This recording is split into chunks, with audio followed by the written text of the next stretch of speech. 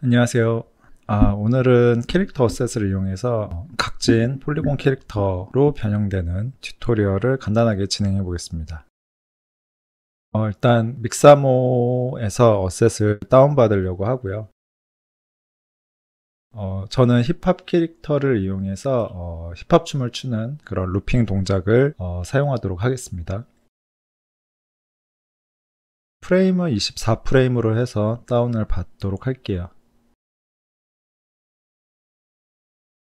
어, 다운받은 파일을 불러오면 이렇게 하이폴 형태로 되어 있는데 작업의 편의를 위해서 어, 알렌빅으로 어, 모델만 내보내려고 합니다.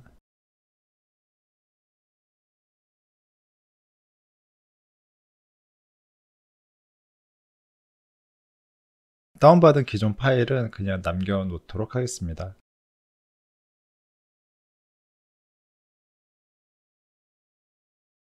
export했던 Alembic 파일 다시 불러왔고요. 불러온 Alembic 파일에 어, Reduce 옵션을 적용하도록 하겠습니다. 기본 상태로 해서 적용을 할게요.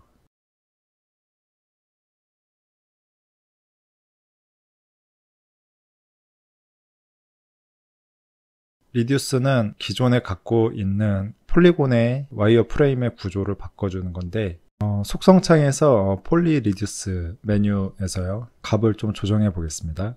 퍼센테이지를 높여주면은 면수가 적어지고요. 낮춰주면 다시 많아지고요. 그리고 Preserve Quads 수치를 낮추면은 면의 구조가 어떤 트라이앵글 구조로 바뀌게 되고요.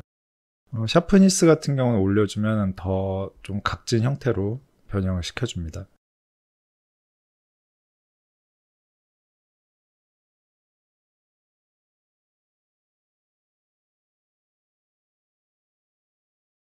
어, 이 폴리곤의 양이나 형태를 변형시키면서 모션 그래픽처럼 만들어 보려고 하고요. 동작이 루핑 동작이어서 어, 기존에 53프레임까지 돼 있는 동작이 두 번 반복되게 106프레임으로 늘려주도록 하겠습니다. 동작 역시 반복돼야 되니까 Alembic에서 Cycle Type을 Loop로 바꿔줄게요. 어, 이렇게 되면 두 번 반복해서 춤 동작을 어, 반복하고요. Reduce를 적용하면은 어, 이 history가 남아있는 상태에서 좀 무겁긴 합니다. 어, 면의 양이 바뀌는 식으로 모션을 잡으려고 해서 퍼센테이지랑 Sharpness에 keyframe을 주도록 하겠습니다. 동작에 맞춰서 발을 뻗는 순간에 면이 늘어났다가 그 다음 동작이 또 연결될 때 면이 줄어들었다 하는 반복되는 구간을 만들 거고요. 음, 이 타이밍에서 면의 수를 다시 늘려줬다가요. 면의 수를 늘리면서 샤프니스도 좀 낮춰주는 식으로 하겠습니다.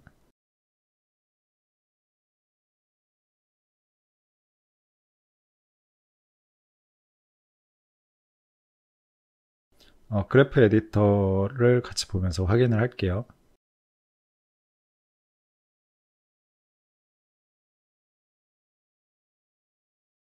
어, 이 위치까지 polygon 수를 유지하다가 다음 동작에 들어갈 때 적은 양의 polygon 수로 다시 돌아가는 방식으로 하겠습니다. 기존의 앞에 키를 Ctrl C, Ctrl V로 복사를 할게요.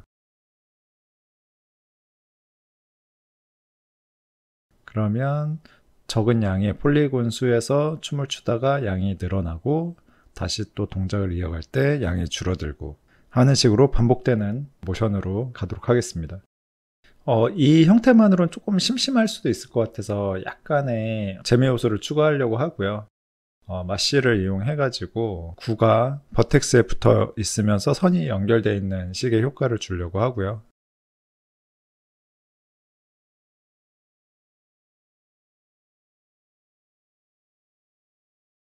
어, Input Mesh에 기존 이 댄스 모델링을 적용을 하고요.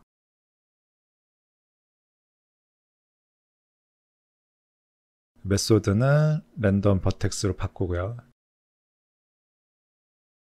Flood Mesh를 적용해서 모든 vertex에 구가 적용되도록 하고요.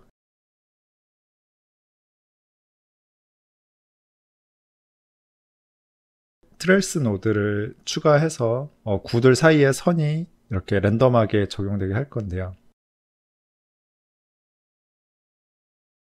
Trail Mode도 다음과 같이 적용을 해서 선들이 이렇게 구와 구 사이에 연결되게 효과를 주도록 하겠습니다.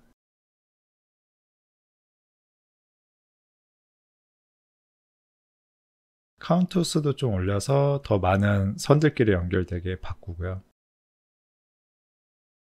어, Trail Scale 같은 경우는 어, 낮추기 전에 이게 기존 Trail의 어, 형태는 그냥 단면으로 되어 있어서 Profile Curve에다가 Circle Curve를 하나 적용해서 기둥 같은 선으로 바꾸려고 합니다. 어, 지금은 스케일이 너무 크니까 어, Trail Scale을 많이 낮춰줘서 네, 이런 식으로 적용을 하려고 하고요. 이것만으로도 뭔가 조금 재밌는 느낌을 표현할 수 있을 것도 같아요. 잠깐 꺼놨던 댄서 모델링을 다시 켜주고요.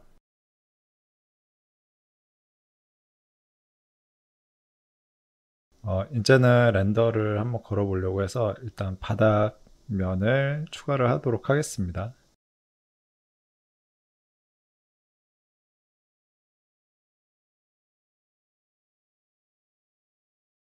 세팅을 좀 심플하게 하려고 하고요. 모든 object에 같은 재질을 적용을 하도록 하겠습니다.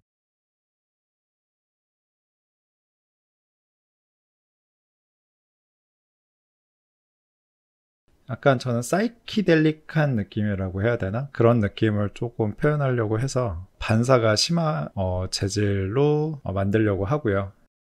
이제 환경을 통해서 반사로서 느낌을 주려고 하고요.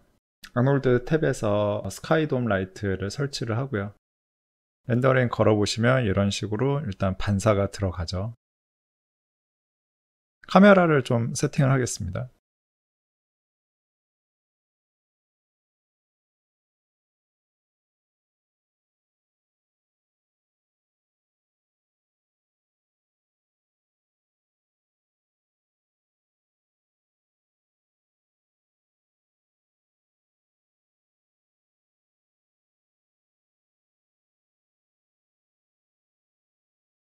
그런데 이 light 구의 재질을 적용함으로써 알록달록한 느낌을 주려고 합니다. 일단 이제 현재 느낌에서 light의 컬러에 어, Noise Texture를 적용을 하고요.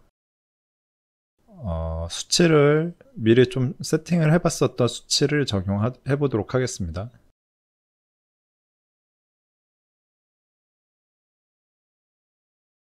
어, 여기서 하나 더 효과를 적용할 게 effect 쪽에 Color Remap이라는 효과를 적용할 거고요. 어, 이게 뜻하는 것은 어두운 부분에서 밝은 부분의 색깔을 지정해 줄 수 있습니다. 예를 들어서 어두운 부분은 빨간색으로 하면 빨간색이 적용되고요. 밝은 부분은 또 지정해 준 색깔이 적용되게 됩니다. 이런 식으로 value 값에 맞춰서 어, 각 위치에다 컬러를 지정해주면 좀 많이 알록달록한 컬러가 되죠. 그러면 이게 반사를 통해서 좀 이렇게 미래적인 느낌이 나게 표현을 할 수 있고요. 휴 노이즈를 추가로 좀 적용해서 이 텍스처의 느낌이 좀 이렇게 물결치고 독특한 느낌이 나게 네, 환경을 보면 네, 이런 느낌으로 텍스처가 적용되어 있고요.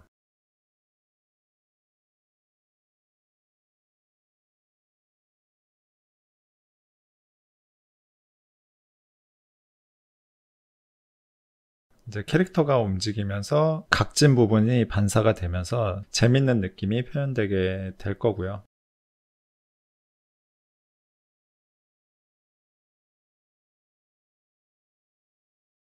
어, 하나 더 추가하자면 라이트의 약간의 움직임을 줌으로써 이 반사의 느낌이 계속 역동적으로 보일 수 있게 표현할 수도 있겠죠.